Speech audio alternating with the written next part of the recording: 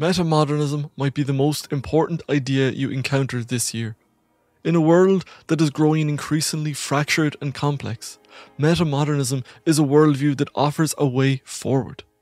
In a recent video, we looked at the difference between the worldviews of modernity and postmodernity. Each of these evolved in response to particular historical and cultural trends. Modernity, as we saw, was the cultural phase that was at its height in the 19th and early 20th centuries. Postmodernity emerged in the 1960s and is the dominant cultural perspective of the 21st century. Our current cultural landscape is polarized along these battle lines. With only these two worldviews to choose from, it seems that society is doomed to fracture. But this is where metamodernism comes in. Metamodernism has been emerging in the past couple of decades, and it offers a way past this gridlock. The meta in metamodernism comes from the ancient Greek word metaxis, used by Plato and Plotinus to capture the sense of in betweenness. In the case of metamodernism, this means being in between modernity and postmodernity, but it is not simply a middle ground. In the language of Ken Wilber's integral school of thought, which is the main theoretical underpinning to Hanzi Freinacht's school of political metamodernism, metamodernism transcends and includes these previous worldviews. This synthesis is critical for the problems we face in the 21st century. In this age of the meta crisis, we find ourselves staring down the barrel of half a dozen existential crises all at once. It's not simply the climate crisis, but the meaning crisis, the mental health crisis, the dangers and potentials of emerging AI technology, which on the one hand may make us redundant as a species. I'm sorry, Dave. I'm afraid I can't do that. And on the other hand, with technology like swarms of AI drones flying around, AI technologies threaten our survival in a much more tangible way. There's the energy crisis, diminishing natural resources, the emerging politics of space, the Cold War shaping up between America and China, not to mention increasing inequality and the coming deluge of unemployment brought on by robots. This is an age of complex problems, and much of our public discourse is so much rearranging of deck chairs on the Titanic. The challenges facing humanity are too complex and too dangerous for us to fall back into the lowering narrative of us and them. Metamodernism, at the very least, is a new worldview that doesn't fall into this us and them left and right trap. It's a complex worldview for an age of complexity. In this episode, we are going to look at the characteristics of this new cultural trend, its relationship to the previous trends of modernity and postmodernity, and why, in this world in crisis, we need metamodernism. In the previous episode on modernity and postmodernity, we looked at the characteristics of these two worldviews. To briefly summarise, modernity was characterised by an exuberant self confidence. Hegel believed we lived at the end of history. Wittgenstein believed he had dissolved all the problems of philosophy. Freud believed he had found the source of all mental illness. Einstein came up with his theory of relativity and believed that a theory of everything was within his grasp. In short, we seem to be solving all the problems that faced us at an incredible pace, and ultimate truth seemed to be just around the corner. There was a fervent belief in progress, and reason sat in the throne left vacant by God. Even in the counter trends of modernity, Marx and the work of anarchists such as Bakunin and Kropotkin, there was an audacious vision of a utopia within our grasp. Modernity then was characterized by grand narratives in every domain, from the social and political to the philosophical and the scientific. The tone of modernity was an almost arrogant faith, a haughtiness that modern man was the pinnacle of life itself.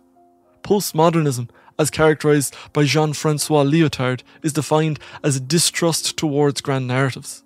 The focus of postmodernism is the fringe cases, the peripheries, the exceptions, basically all the cracks in modernity's beautiful narratives. The jadedness with the Kool-Aid of modernity's optimism was embodied in postmodernity's tone of cynicism, sarcasm, and irony. Rather than seeking a monolithic objective truth, postmodernism exposed the million and one truths of different perspectives. It gave a platform to the voices exploited and neglected by modernity's narrative. The voices of African Americans, women, the LGBT community, colonial voices, and those of prisoners and the insane. All the voices, in short, that modernity had excluded from its great proclamations of life, liberty, and the pursuit of happiness, of liberty, equality, and fraternity. In taking such an abundance of perspectives, a spirit of relativism and nihilism came to prevail in the broader postmodern perspective. In trying to give equal voice to so many perspectives, postmodernism had no unified central vision as modernity had. It had no anchor point to order itself towards. It turned its back on finding a grand narrative that tried to encapsulate all the different perspectives. And this is where metamodernism enters the scene. In the language of the Hegelian dialectic, modernity was the thesis to which postmodernism's antithesis opposed itself. Out of this conflict, a new synthesis has begun to emerge in metamodernism.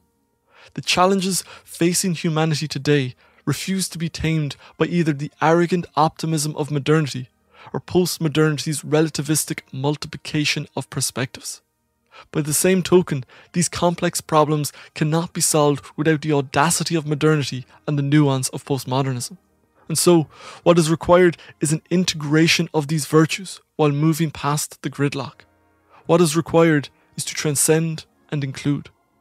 As Hanzi Freinacht notes in his book on political metamodernism, The Listening Society, metamodernism is qualitatively very, very different from postmodernism. It accepts progress, hierarchy, sincerity, spirituality, development, grand narratives, party politics, both and thinking, and much else. It puts forward dreams and makes suggestions, and it is still being born. From the perspective of metamodernism, the postmodernists had thrown a lot of baby out with the bathwater of modernity.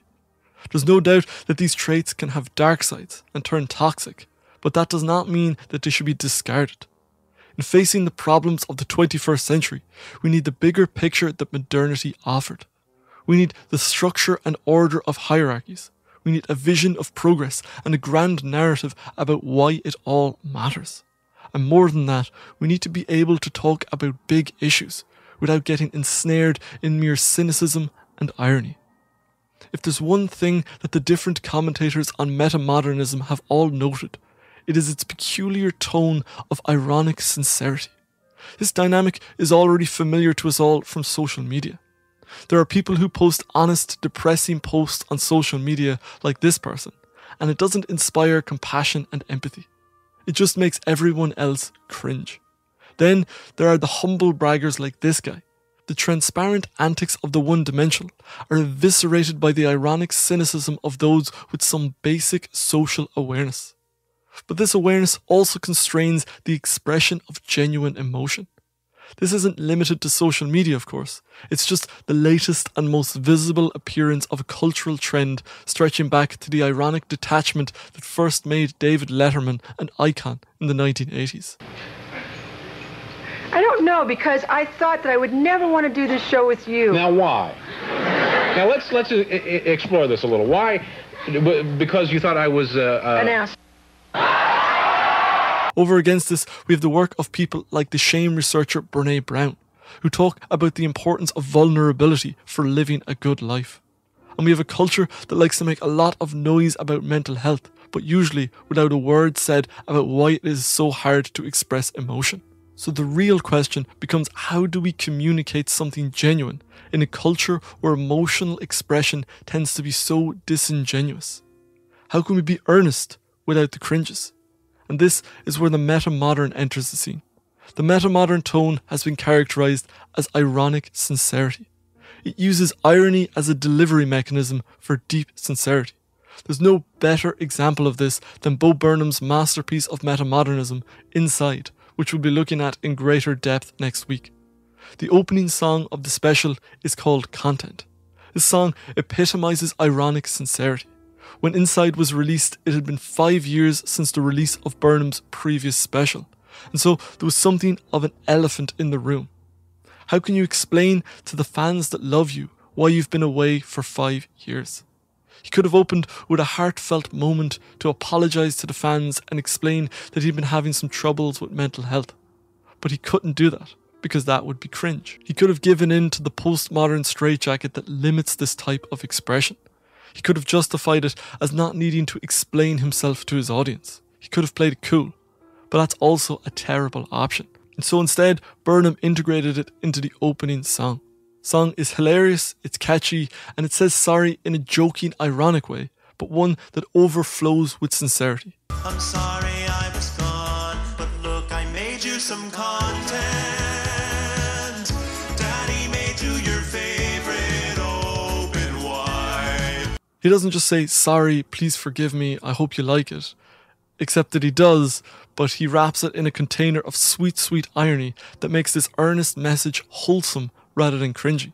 And that is the very essence of the meta modern tone. It's acknowledging the cynicism of postmodernity, which sees in most forms of earnestness a sort of performativity. The ironic packaging acknowledges this, modestly mocking itself, but in doing so, it reveals a genuine and deep earnestness. This ironic sincerity is an example of the oxymoronic theme that runs to the core of metamodernism. When the creators of the 2011 Meta Modern Manifesto used phrases like pragmatic idealism, informed naivety, and magical realism, they were pointing to similar juxtapositions. Metamodernism is moving beyond the cynical straitjacket of postmodernism and striving once again for a greater form of meaning, a truer form of connection, and a deeper sense of truth. In aspiring for a grand sense of meaning and idealism, the metamoderns aren't fervent believers like the moderns. Instead, as noted by the Dutch art scholars who first ignited the metamodern movement with their 2010 paper, What is Metamodernism? Their intention is not to fulfill it, but to attempt to fulfill it in spite of its unfulfillableness. Or, as Hanzi Freinacht puts it in The Listening Society, the metamodernist has her own unapologetically held grand narrative, synthesizing her available understanding, but it is held lightly as one recognizes that it is always partly fictional, a proto-synthesis. And so we might say that one of the traits of the metamodern is playfulness. It takes the awareness of our limits the postmodernity became so acutely aware of, but instead of being crippled by them, it instead opts for playfulness, for an acceptance of its inadequacy, its fallible nature. It's a delight in the attempt. It's the belief that there is something beautiful in the striving. This playful spirit of metamodernism, this ironic sincerity and pragmatic idealism, is essential for the problems we face today. We need metamodernism. Our world is drowning in complexity. The naivety of modernity and the relativistic nihilism of postmodernism are only compounding the problems that we face. We need a bigger vision again. Our world is facing a meta crisis. We have a climate crisis, a meaning crisis, a mental health crisis, as well as approaching another political crisis and perhaps a new Cold War. We are a world in crisis, and no amount of naivety or nihilism is going to get us past this. We need a grand narrative again. We need something that is going to give us hope once again. Metamodernism is a trend that is evolving out of that need. It's the bridge builder between all the different factions in our world. As Freinacht notes, metamodern principles are always inherent to the contradictions of modern society. Late modern society is pregnant with metamodernism. People need irony in order to build interpersonal trust based on self knowledge, humour, and critical thinking. Only when such trust is in place can we successfully gather around a meaningful struggle for something greater than ourselves, like the climate crisis. There, another ironic quirk of our age. Irony brings trust, and trust crowns a winner. That's everything for this episode of The Living Philosophy.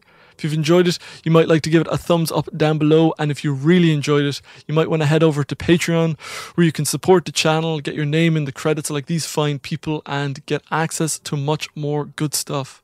As ever, if you have any thoughts, insights, or feedback, I'd love to hear from you down in the comments. Otherwise, I shall see you next time. Thank you for watching.